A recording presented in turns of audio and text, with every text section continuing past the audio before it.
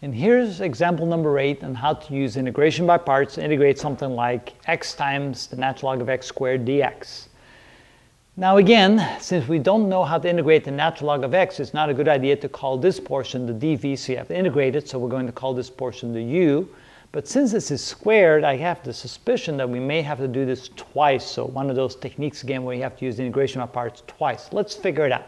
So I'm going to call this portion right here u, and then x times dx, we're going to call that dv, and see what we end up with. All right, so let u equal the natural log of x quantity squared. Um, and then the dv is going to be x times dx. All right, so let's find the derivative of u. That would be du. And du would be 2 times the natural log of x times the derivative of what's inside of parentheses, which is uh, 1 over x, times, of course, the derivative of x, which is dx. And here, when we integrate dv, we get v, which is equal to x squared over 2 plus a constant of integration, but we'll leave that to the end. All right, so now we have your u, your v, du, dv. We're ready to plug it in. So this now becomes equal to u, which is the natural log of x quantity squared, times v, which is x squared over 2, minus the integral of v du. Our v is x squared over 2, and then our du is hmm, 2 times the natural log of x times 1 over x times dx.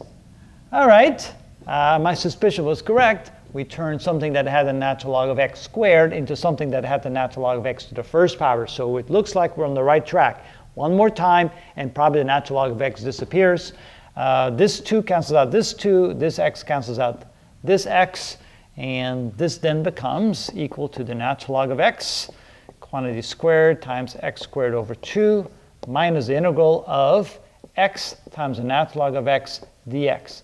That looks like one we've done before, but hey, let's do it again. I'm going to take this on the side and say let u equal the natural log of x, and then x dx will be dv. So u equals the natural log of x, and dv is equal to x times dx. And so du then, then becomes 1 over x dx, and integrating this, we get x squared over 2 plus a constant of integration. All right. Plugging that into this portion of the problem, this becomes the natural log of x quantity squared times x over 2, and that would be x squared over 2 minus, okay, now it's going to be whatever we replace that with, it'll be u times v minus v du. So u is the natural log of x times v, which is x squared over 2, minus the integral of v, which is x squared over 2, times du, which is 1 over x times dx. And we're now in business. Because notice that this x cancels out that x, the 1 half can come outside the integral sign, and so we end up with this is equal to the natural log of x, quantity squared, times x squared over 2, minus this, so that would be minus the natural log of x, times uh, x squared over 2, and then a minus times a minus becomes plus. The 1 half can come outside the integral sign, and then we're left with an x times dx. And that is easy to integrate. Can I simplify anything here? Yes, it looks like we can. We can factor out the natural log of x times x squared over 2. So this is equal to, um, I think I'm going to leave that to the end because maybe something will happen here that can just do it all at once, or maybe not. Let's see.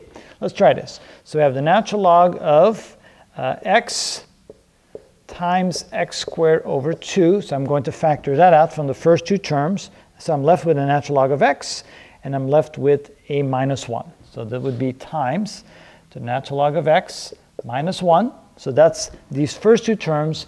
Simplify a little bit, and then I'm going to integrate this. So it'll be plus 1 half times x squared over 2